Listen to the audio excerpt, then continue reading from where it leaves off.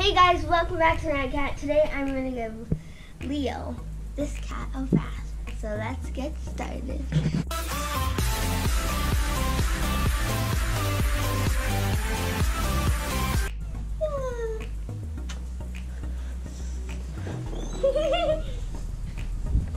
this is the fat cat.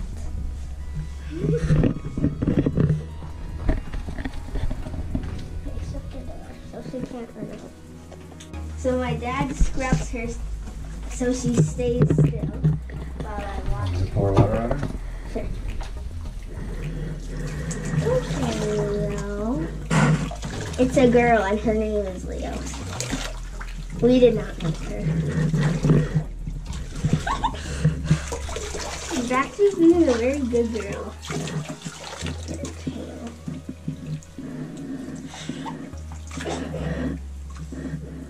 Good, We gave her a bath last week too, and that bath was successful. We just want to keep her clean. And the other cat takes a bath pretty frequently. Good girl, Leo. Clean her stomach. Hmm? He takes a bath by himself. Yeah, yeah. Our other cat takes a bath by himself. Leo is too lazy, so it's okay, Leo. The cats do not like water because they do not like the feeling of it on their fur. That's why.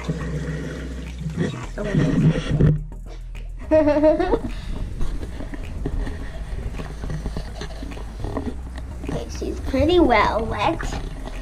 And we will be back when um, she's done. Clean? Yeah, when she's all clean, when we take her out. So we just cleaned her all off, and now we need to wrap her in a towel. And this is Leo after the bath. Hi, good girl. Okay, thumbnail. Okay, there. Smells like bacon. Literally, smoked bacon. Oh, good girl. She's a very good girl during the bath. She smells like bacon? Yes. Good Leo. Try to dry her off. Well, thank you for actually we stop? Thank you for watching Leo getting a bath. We hope you enjoyed this video. If you do, please give it a like, subscribe, comment down below, and turn on the notification bell so you on a new video.